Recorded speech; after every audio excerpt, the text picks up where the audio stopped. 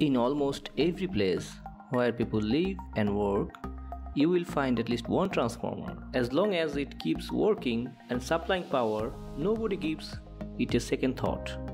However, transformer is one of the most important unit in every production process. Without them, the core activities of nearly every business and factory would come to a standstill. Today, in this video, we are going to learn about distribution transformer nameplate details. At first, power rating.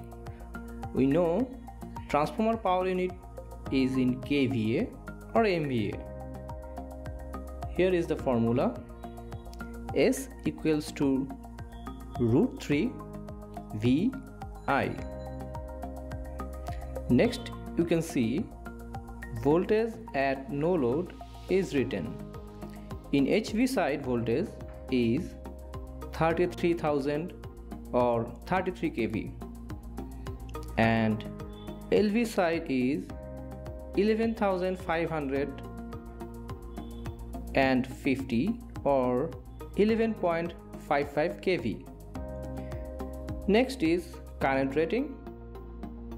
Here is the calculation is shown and the formula for current is shown here. Next we can see the percentage impedance of transformer is showing here. The percentage impedance is the percentage of the normal terminal voltage at one side required to circulate full load current under short circuit condition on other side. The formula is given below. Now the vector group. The vector group of this transformer is DYN1. It means delta connected HV winding, star connected LV winding, neutral is grounded and HV is leading LV side with 30 degree. At last, the type of cooling used for this distribution transformer are on and ONAF.